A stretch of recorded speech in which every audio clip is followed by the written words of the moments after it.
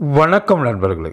இன்று நாம் தமிழ் தொழிலில் பார்க்கக்கூடியது இதுவரைக்கும் யாரும் சொல்லாத ஒரு வித்தியாசமான தொழிலை பற்றி இப்போ சொல்ல போகிறோம் வேறு ஒன்றும் நாங்கள் இப்போ ஃபேஸ் மாஸ்க் வருது பாருங்கள் அதுக்கு பயன்படக்கூடிய காட்டன் டேப்புங்க அப்புறம் பாவாடை உள் பாவாடை பெட்டி அதை கட்டுறதுக்கு பயன்படக்கூடிய இந்த மாதிரி நாடாக்கள். அப்புறம் வந்து பார்த்திங்கன்னா பையெலாம் இருக்குது பாருங்கள் பேகு அதுக்கு வந்து கைப்பிடியாக பயன்படுத்தக்கூடியது. அப்புறம் வந்து படுக்கிற பாய் அதுக்கு ஓரத்தில் பயன்படுத்தக்கூடிய நாடாக்கள். காட்டன் டேப்புங்க இந்த வகையான அனைத்து கலர்களையும் பண்ணலாங்க. வெள்ளை கலர் மட்டும் இல்லாமல் அனைத்து கலர்களையும் பண்ணலாம். இது வந்து பார்த்திங்கன்னா குமாரபாளையம்னு இருக்குங்க. ஈரோடுலேருந்து பக்கத்தில். அங்கே வந்து இது நிறைய பேர் தயார் பண்ணுறாங்க இதுக்கான இயந்திரம் வந்து சிங்கிள் ஸ்பிண்டில் அதாவது என்னென்னு ஒரு யூனிட் அதில் வந்து ஒரு பன்னெண்டு ஸ்பிண்டில் பதிமூணு ஸ்பிண்டில் இருக்கும். அது ஐயாயிரம் ரூபாயிலேருந்து கிடைக்குதுங்க. மிஷின் மட்டும் மோட்ரு தனியாக வருங்க. உங்களுக்கு எத்தனை மிஷின் வாங்கி போகிறீங்களோ அதுக்கு தகுந்த மாதிரி முதலீட்டுக்கு தகுந்த மாதிரி ப்ரொடக்ஷன் எடுக்கலாங்க. இது வந்து பெரும்பாலும் வந்து பார்த்திங்கன்னா இந்த தையல் கடைகளில் மிக அதிகமாக இந்த பாவாடை நாடகங்களுக்கு பயன்படுது. அப்புறம் கார்மெண்ட்ஸ் தயார் பண்ணுறவங்களுக்கு அப்புறம் வந்து இந்த லைனிங் ஒர்க்ஸு சீட்டெலாம் தயார் பண்ணுறாங்க பாருங்க அதுக்கு கட்டுறதுக்கு பயன்படுது. இந்தமாரி பல்வேறு வகையில் இது பயன்படுறதுனால இதை ஒரு தொழிலாக ஆரம்பித்து நல்லா வருமானம் வரலாங்க. இதுக்கான மூலப்பொருள்லாம் பார்த்திங்கன்னா சேலம் திருச்செங்கோடு அப்புறம் பார்த்திங்கன்னா கரூர் ஈரோடு திருப்பூர் இந்தமாரி அதை விட்டிங்கன்னா ராஜபாளையம் மதுரை இந்த பகுதிகளில் மொத்தமாக கிடைக்குதுங்க. நூல் வந்து இந்த மாதிரி கலராகவும் வரும் வெள்ளையாகவும் வரும். உங்களுக்கு எந்த கலரில் அதை தயார் பண்ண போகிறீங்களோ பெரும்பாலும் கருப்பு வெள்ளை நிறங்களில் வருது கருநீல நிறங்களில் வருது. ஸோ இதை ஒரு தொழிலாக நீங்கள் ஆரம்பித்து நல்லா வருமானம் பெறலாங்க. உங்கள் வீட்டிலே செய்யலாம். வீட்டு மின்சாரத்திலே இந்த இயந்திரம் இயங்கக்கூடியது.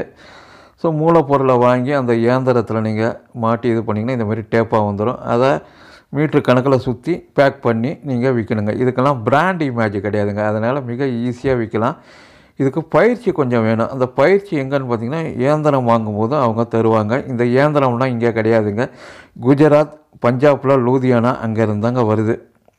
முதல்லலாம் இங்கே மிஷின் வந்து திருப்பூரில் வர வச்சு விற்றுக்கிட்டு இருந்தாங்க. பட் இப்போ யாரும் விற்கிறதில்ல. ஸோ அதுக்கான முகவரிகள் எங்கே கிடைக்கின்றது எல்லாமே வீடியோ கீழே டிஸ்கிரிப்ஷனில் தரேன்.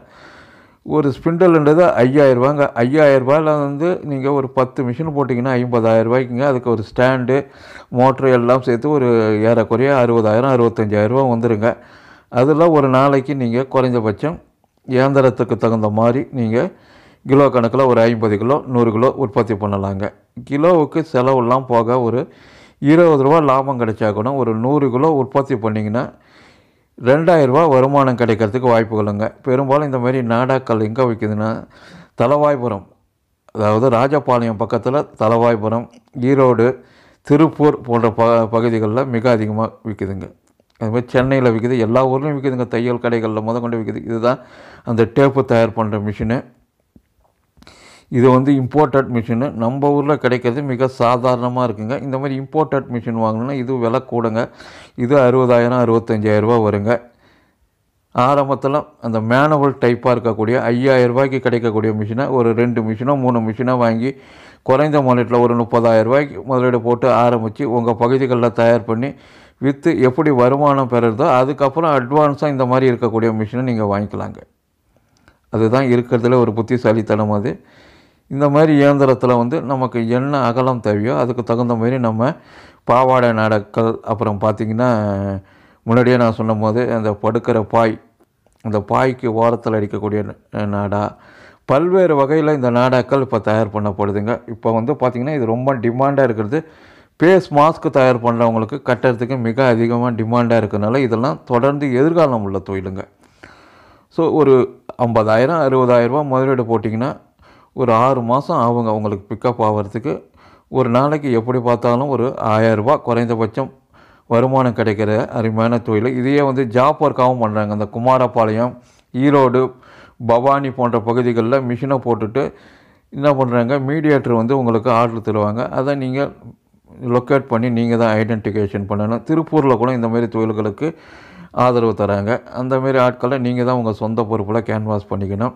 அது இல்லாமல் கயிறுங்க வருதுங்க. பல்வேறு வகையான கயிறுங்கள். அதை எப்படி தயார் பண்ணுறதுன்றது குறித்து. இதேமாரி இது பேர் வந்து ப்ரைடிங் மிஷினுன்னுவாங்க இந்த மாதிரி மிஷினில் இன்னும் நிறையா பொருட்கள்லாம் தயார் பண்ணலாம். அதை பற்றி தொடர்ந்து போடுறேன். இன்றைக்கி சொல்லக்கூடிய தொழில் நிச்சயம் உங்களுக்கு பயனுள்ளதாக இருக்கு. நம்ம தொடர்ந்து பாருங்கள். நன்றி. வணக்கம்.